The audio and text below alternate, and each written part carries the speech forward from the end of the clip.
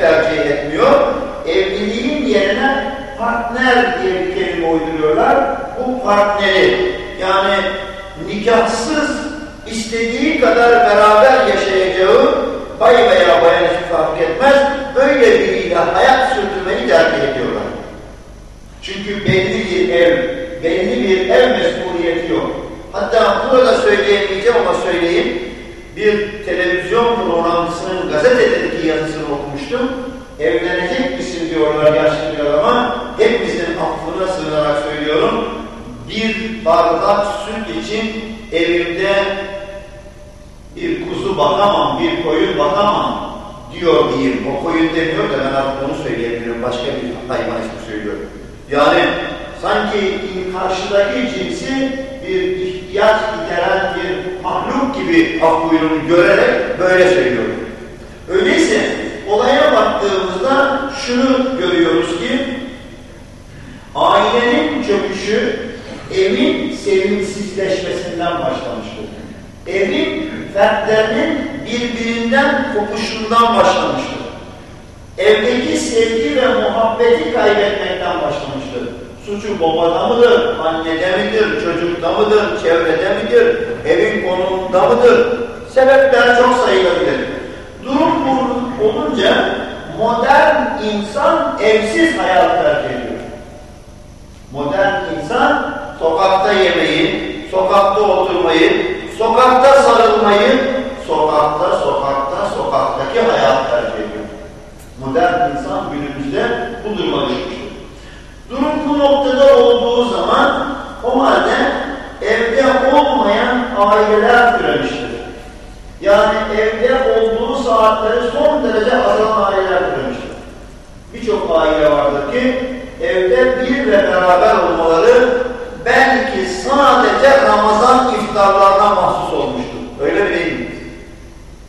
Yani bir arada olmanın zevki, aşkı, şevki ve muhabbetini kaybedince belki iftarladır. Bundan yaklaşık 25 yıl evvel Eskişehir'de talebeyken birisi dedi ki bana biz sekiz kardeşiz. Birbirimizle de pek görüşemiyoruz. Kırgınlıklar, uzaklıklar vesaire var. Bir yıl evvelden herkese bir davetiye göndereceğim. Şu tarihte işte Almanya'dakine, memlekettekine toplanalım da beraber bir görüşelim diyeceğim veya dedim diye anlattı. Ben çok taaccüp etmiştim. O zaman 20 küsür yaşlarındaydım. Ben çok taaccüp etmiştim. Bunun üzerine o insan?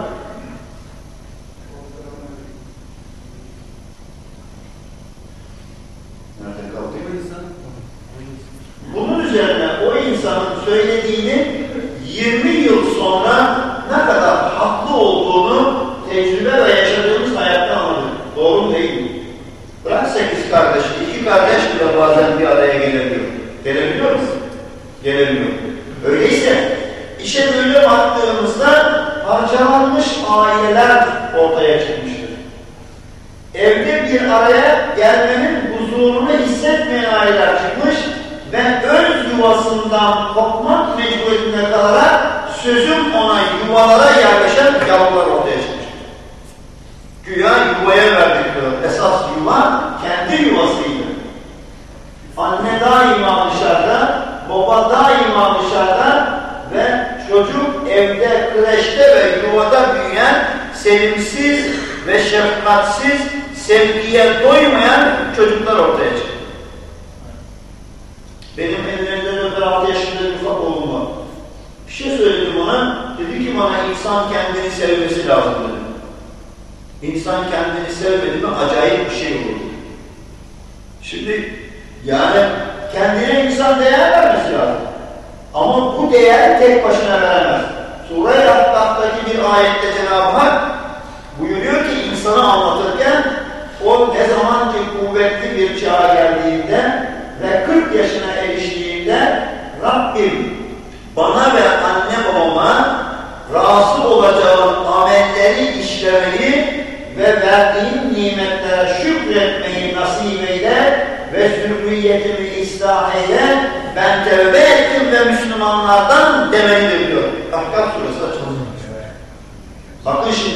Rabbim bana ve ebeveynime vermiş olduğum nimetlere şükretmeyi ilham et, temin et ve razı olacağım amelleri nasip et ve beni ve zürriyetimi ıslah eyle ya Rabbi. İşte mümin anne babasında bir eli, evet çocuklarında bir eli olan insandır. Şimdi ebeveyn yeterli derecede sevilmiyor. Ne zaman ebeveynin kıymeti anlaşılıyor?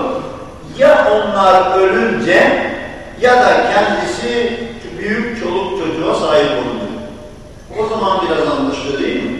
O da pek bir işe yaramıyor. Şimdi buraya böyle baktığımızda aile evden gidiyorsa çocuklar da elden gidiyor. Doğru mu efendim? Aile evden gidiyorsa çocuklar elden gitmiştir. Eskiden hani bazı adetler vardı. Kadın ikindiden sonra, güneş battıktan sonra hani sokağa çıkmaz derlerdi. Hatta bırakın onu, siz Semra Özal'ı tanır mısınız?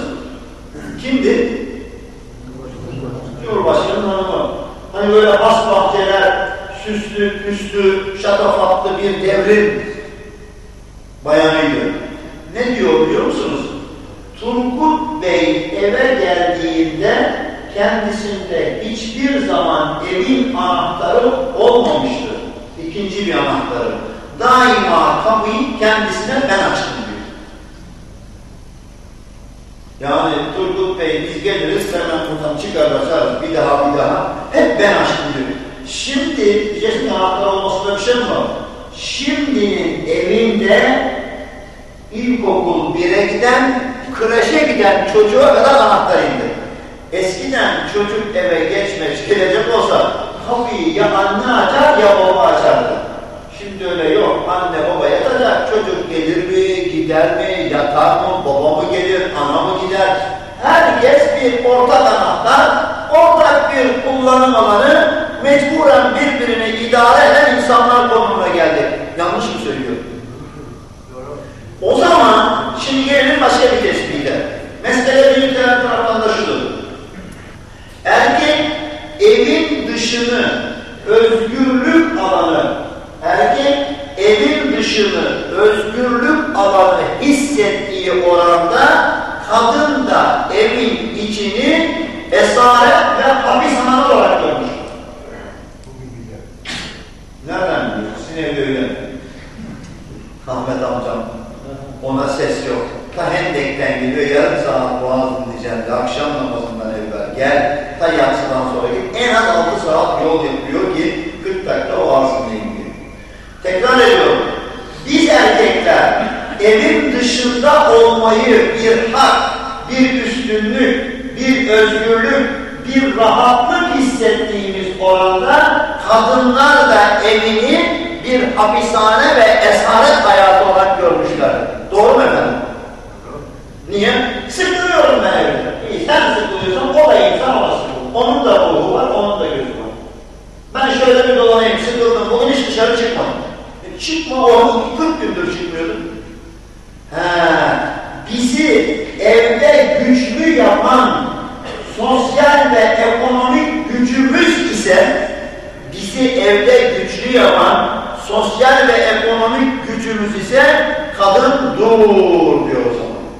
Seni bu kadar konuşturan, özgür kılan, haklı kılan paransa ben de işe girmek istiyorum. Diyor mu demiyor. Ben de işe gireceğim dedim. Madem sen bu kadar konuşuyorsun, madem böyle biliyorsun, o halde ben de bir işe gireyim, benim de üstünlüğüm senin kadar olsun. Ya da en azından seni de geçeyim.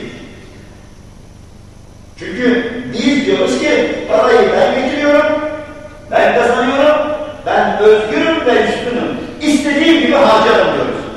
Bu kazancım elimdir demiyoruz, bu kazanç benimdir. Ben dışarıda et yerim, süt içerim,